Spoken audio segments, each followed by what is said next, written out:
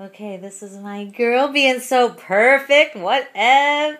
And I'm going to vacuum. And though it's loud, I'm going to try to get it, uh, set this phone down so you can, well, I guess there's no way to do this but to hold the phone.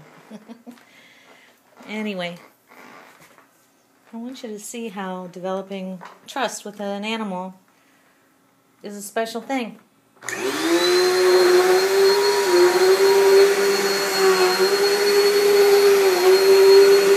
She doesn't like it because it's loud. Who likes a loud vacuum cleaner? But she trusts me. See that? Right up to her tail.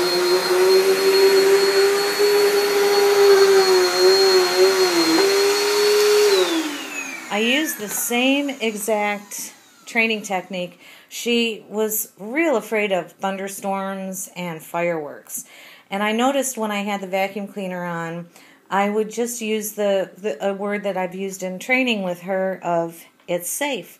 And I'd sit down and I'd touch the vacuum cleaner with it on and say, "See, it's safe." And from being able to do that, I could apply that to thunder. I could apply that to any loud, sudden sound, which, because of my brain injury, she has to be able to stay very calm uh, so that um, I don't fall down. Uh, so, anyway, this is an Akita that's very calm, and uh, me vacuuming the rug. And uh, when I have the vacuum cleaner on and I'm vacuuming and I want her to move, I simply do this. I don't chase her with the vacuum cleaner.